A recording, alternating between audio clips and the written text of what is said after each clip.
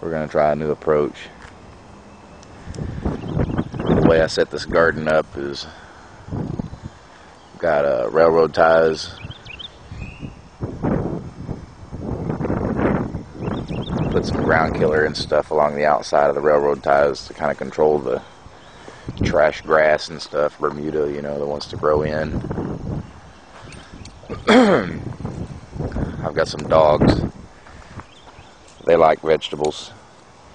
The last couple of years that we've put the gardens in, they uh, they like to get in there and eat all the veggies.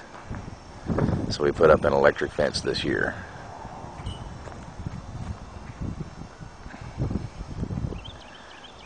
That's a new construction room that I'm adding on where I can germinate some of my own plants. Not have to buy seeds anymore from the local nurseries and Walmart. The garden itself is, I don't know, roughly 30 feet by maybe 20 feet. It's a good sized garden.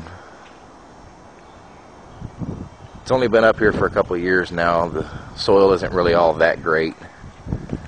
First year we really tried to get the grass under control. This was all a big patch of Bermuda at the beginning. But uh, we've got the majority of it out. We're still weeding out some of the rocks and stuff. I'm sure as you see we've still got some Bermuda that we're trying to get rid of. But I think we should have that under control within the next year or two. We shouldn't see any more of that.